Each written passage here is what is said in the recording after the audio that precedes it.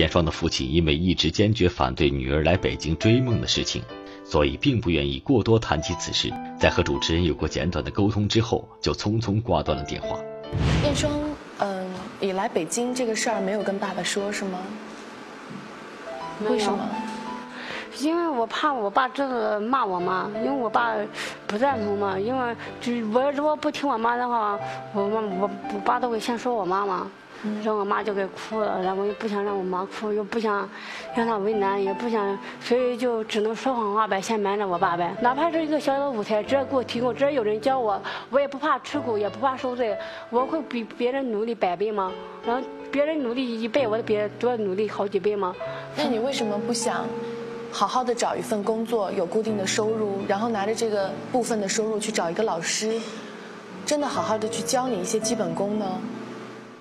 问题是，那也要多长时间？而且，而且，我觉得从来没有人限制你完成梦想是有一个固定的年纪，从来没有人说梦想一定要在十八岁完成，或者在二十八岁完成。这个我知道，但是你年龄要就是越大嘛，然后就是越不好嘛，在这个。有很多演员都是在中年甚至在老年才找到了一个更适合他的角色，才出的名。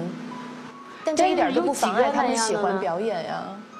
有几世上能出几个，对不对？可是如果你一直不接受专业的训练，你可能永远都不会实现你的梦想。你想过没有？你在学校的学的东西还没有在剧组里面学到东西多。只是我想，我想做跟踪演员，他们都不愿意给我机会。他们都老是嫌我不漂亮，干嘛的，就不不让我做跟踪演员。嗯，我想接着来问问妈妈。您知道女儿在北京过的真实的生活是什么样子吗？我知道她在北京也够苦的。嗯，她跟您说她有固定的工作吗？没有。女儿有没有给您寄过钱或者给您买过礼物？买过，我女儿挺孝顺的。我女儿啊，她给您买过什么礼物？去年我这腿疼的就不能走路，就这里两个膝盖疼。她在河边给我买的药，记得我那，嗯，上班的单位现在好多了，嗯，腿不那么疼了。收到药的时候心里也很高兴啊。当然了，嗯，我这还是有女儿好。刚才我们也了解了一下，嗯，叶双在北京其实更多的时候并没有。这样的一个演员的职业留给他，那么他更多的时候，他的生活究竟是怎么过的呢？我们一起来看一下记者的外采短片。这只是傅艳双在北京这几年里很普通的一天。每天天还没亮，傅艳双就要赶往工作的地方。这个地方可能是西单，可能是工人体育馆，可能是大兴，可能是顺义，也可能是昌平。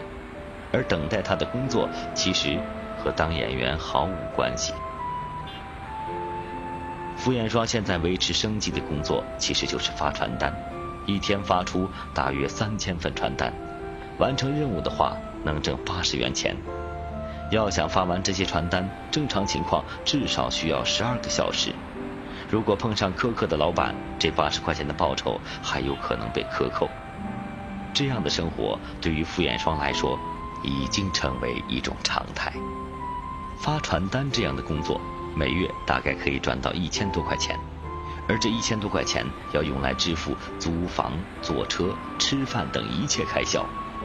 为了省钱，傅艳双只得在北京远郊租了一间不足十平米的平房，一个月的房租就要三百块钱。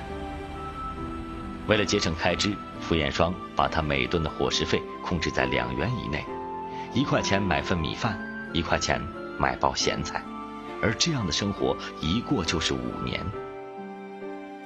这间简陋的平房就是傅艳双在北京的家，而这样窘迫的生活现状，他是绝对不会告诉他父母亲的。